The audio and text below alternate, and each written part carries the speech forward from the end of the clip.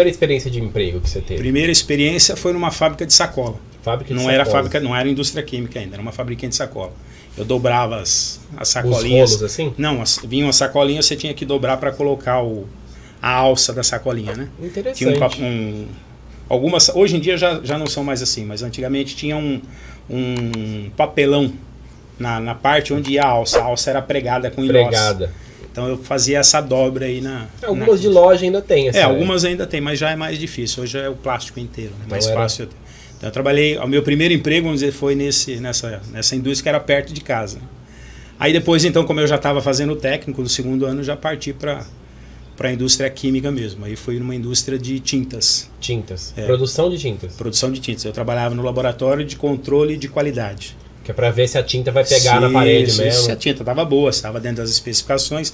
Eu entrei como auxiliar de laboratório, né? que eu não tinha o técnico ainda. Então eu, eu sempre costumo dizer que o, o bom químico é aquele que começa lavando tubo de ensaio. Exatamente. E foi o que aconteceu comigo.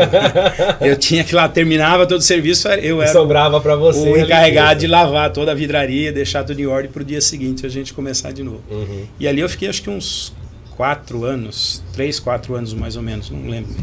E aí meu pai resolveu vir pro interior, porque meu pai era assim, ele vinha passear, vendia a casa, era mais ou menos Uma assim. pessoa sem raízes, É. vamos dizer assim. Queria. Então aí ele vendeu a, vendeu a casa que, tinha, que nós tínhamos lá em São Paulo e resolveu mudar aqui para Novo Horizonte.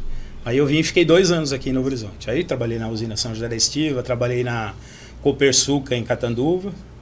Sempre de químico. Sempre químico, sempre dentro do laboratório. Deixa eu te fazer uma pergunta, porque nós já passamos. Você fez química porque era o que tinha de opção no ensino médio Não, ou porque você porque eu gostava? gostava mesmo. Desde os, da quinta série, agora é sexto ano, mas antigamente era a quinta série. Eu tinha um professor de ciências e naquela época, na quinta série, você já tinha, já ensinava alguma coisa sobre química, tabela periódica, reações químicas e tal. E eu sempre me identifiquei com isso, então Você eu sempre gostava. gostava. Você lembra o nome do seu professor? Seu? Sidney. Professor Sidney. Sidney. Ele é vivo ainda? Não, não, Não- não, não tive mais contato. contato depois que eu Quem vim sabe nós descobre ele, ele vê o podcast. né? De repente. Pode né? ser. Daí você se interessou. Foram dois professores que marcaram minha vida, e os dois Sidney.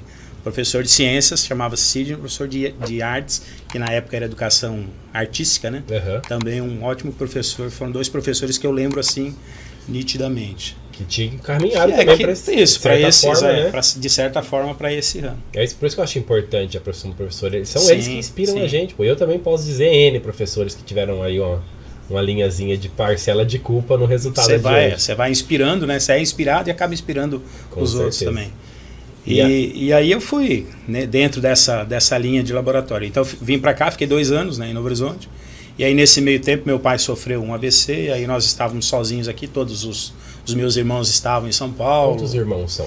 Tinha, tinha dois irmãos, Uhum. um já faleceu, o outro ainda é vivo, o outro agora mora em Salvador. Salvador. Mas na época os dois moravam em São Paulo. E aí eu sozinho aqui com meu pai, eu era solteiro na época ainda.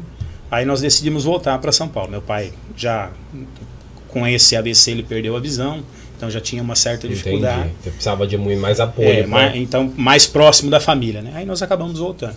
Aí eu fui trabalhar também numa na Copas, Companhia Paulista de Fertilizante, em laboratório químico também.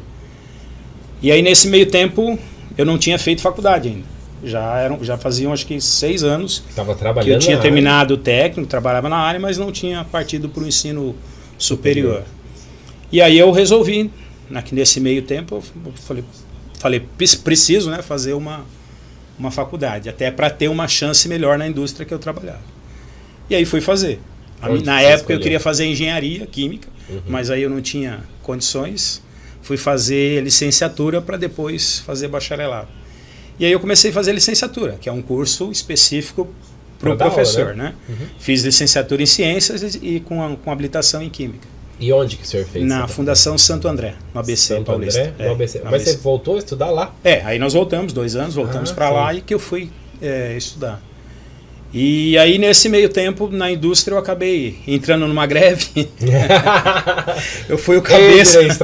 Fui o cabeça da greve ali naquele, no meu setor, né, dentro do laboratório. Tudo bem, conseguimos lá algum aumento, tal, terminou a greve. Passaram-se dois meses, fui mandado embora porque Mobilizou, né? que mobilizei todo mundo. Mas eu, eu sempre digo que é, na vida da gente as coisas acontecem. Às vezes a gente acha que é ruim, mas na verdade foi, foi uma coisa boa. Porque aí o fato de eu estar desempregado, já tinha terminado a licenciatura curta, eu falei, ah, vou quebrar o galho dando umas aulinhas, né?